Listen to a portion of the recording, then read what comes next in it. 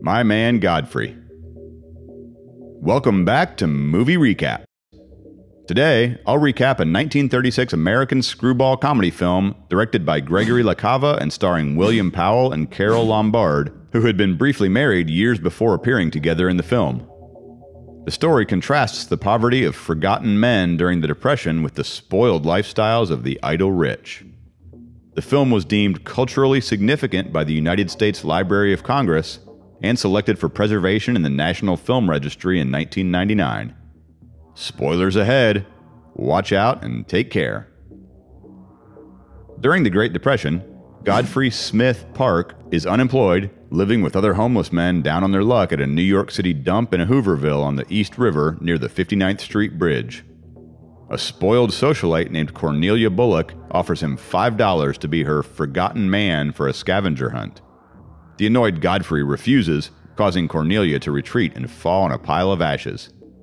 Her younger sister and rival, Irene, is watching and tries to escape, but Godfrey sits her down to talk to her. He asks about the scavenger hunt.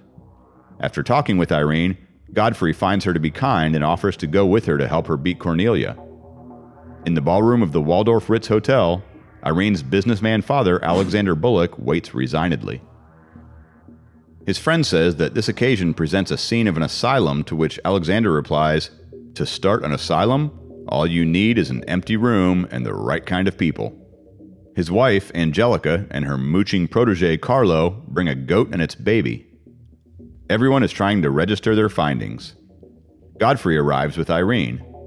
The jury authenticates him as a forgotten man by asking his address and touching his beard to check if it was real. He is proven to be real, allowing Irene to win the cup. However, Godfrey takes the opportunity to address his contempt for the audience's antics before leaving in a huff. Realizing what she brought him into, an apologetic Irene follows Godfrey and asks him what she could do for him in return. He says he could do with a job as he is unemployed, so she hires him to be the new family butler, which he gratefully accepts. Her mother disapproves her impulsive position, but Irene isn't bothered. Cornelia enters the hall with another forgotten man, but comes to know that Irene has already won. She is intrigued at him becoming the new family butler. Irene gives Godfrey some money so he can buy himself some clothing for the job interview, which falls out of his pocket as it is torn. On his first day as the new butler, Godfrey is warned by the Bullock's maid, Molly, that he is merely the latest in a long line of butlers who didn't last long, due to the Bullock's conflicting personalities and antics. Despite this, Godfrey proves to be surprisingly competent as he serves a drink to hungover Angelica, who sees pixies. The drink makes her well very quick, and she is impressed. Next, he goes into Irene's room to serve breakfast, who yells at first but then demands breakfast and asks Godfrey about his shaved beard. She says she feels mature and grown up as she has hired a protege just like her mother. Mr. Bullock finds Godfrey coming out of Irene's room and considers him suspicious, but the maid tells him that he is the new butler. Godfrey is resourceful in his duties, but Cornelia holds a grudge against him and reminds him of the night when he pushed her. Irene overhears and comes in praising Godfrey's clothing she picked out. Cornelia nags Irene for falling in love with a middle aged butler.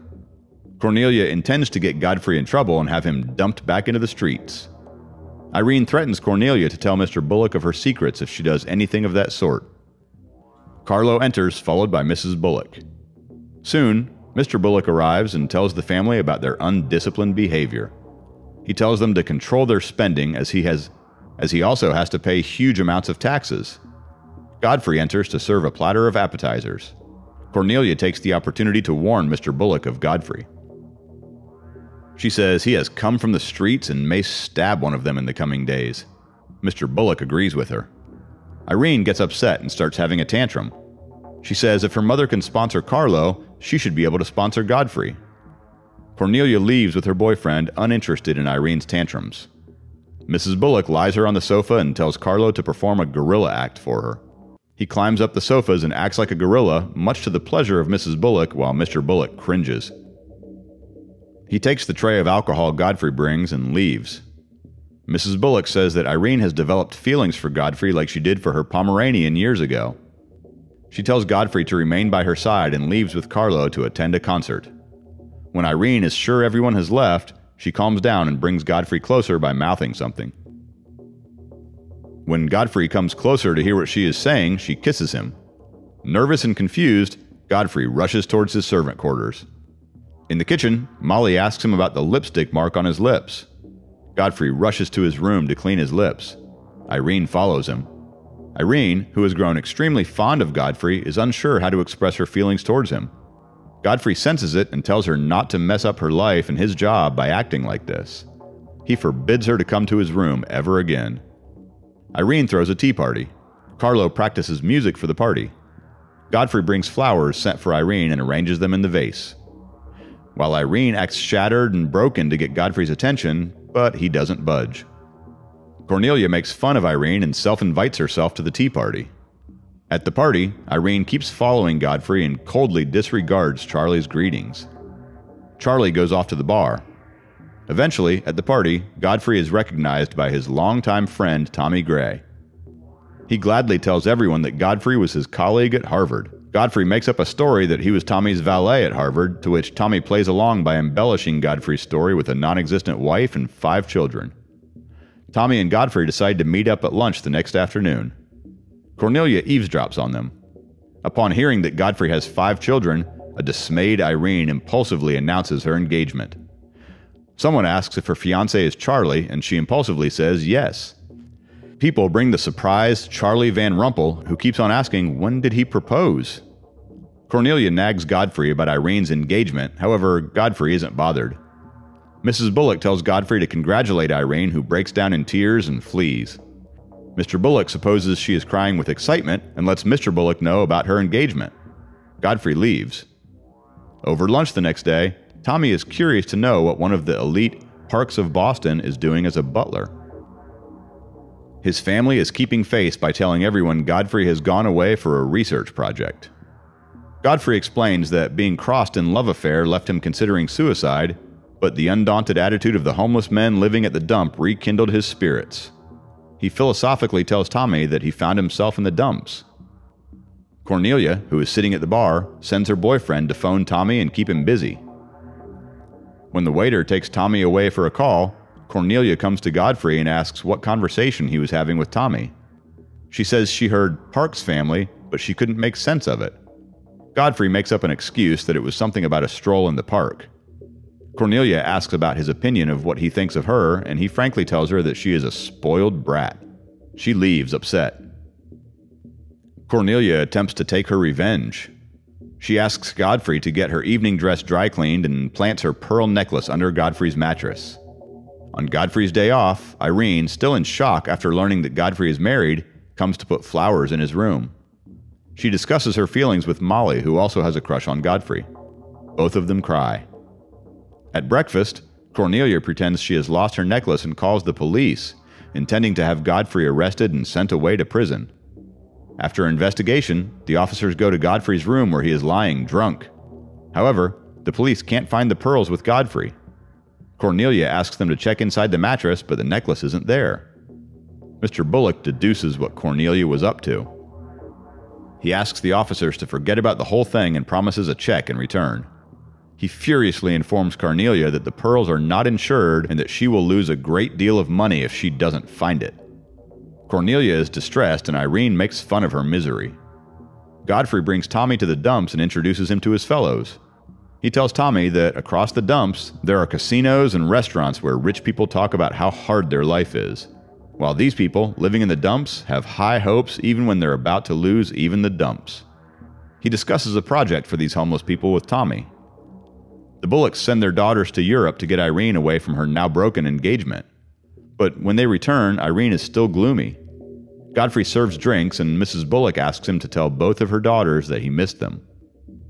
Cornelia implies to Irene that she intends to seduce Godfrey. A worried Irene follows Godfrey to the kitchen. Godfrey is washing the dishes and she offers to wipe them. She asks him if he missed her as much as Cornelia.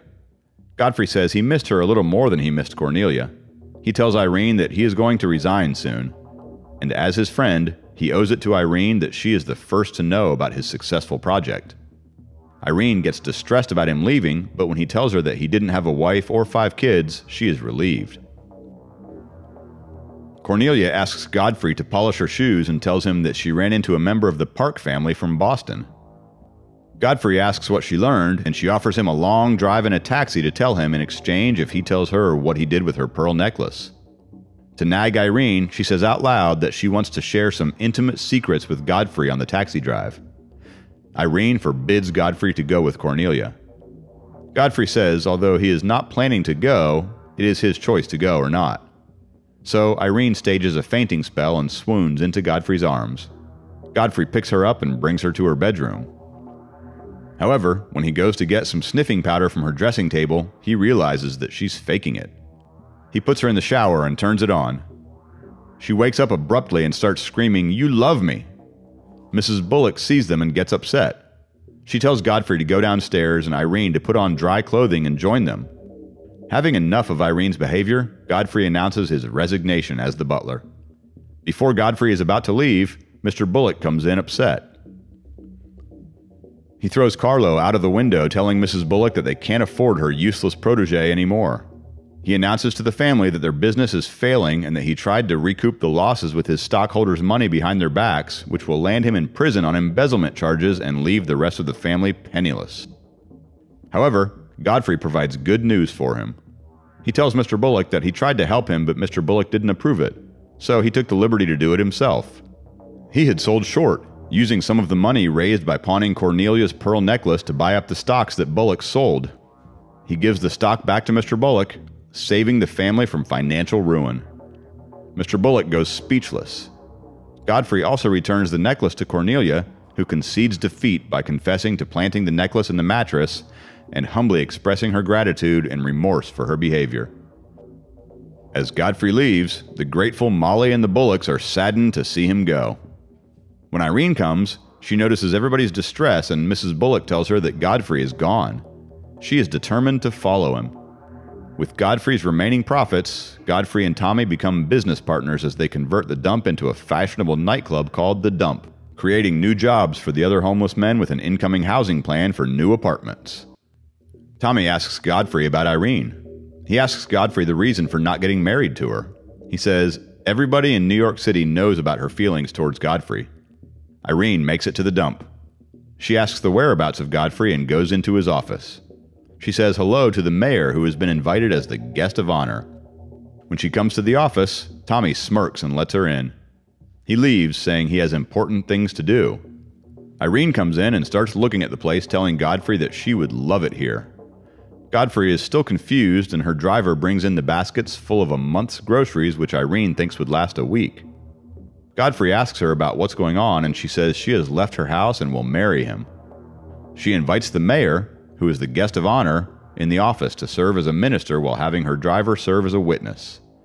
She tells Godfrey, Stand still, it'll only take a few minutes. If you like a good laugh, do watch this movie. It's hilarious. Like the video if you love the movie, Subscribe to our channel to help you pick out the best movie for you through recaps. See you soon!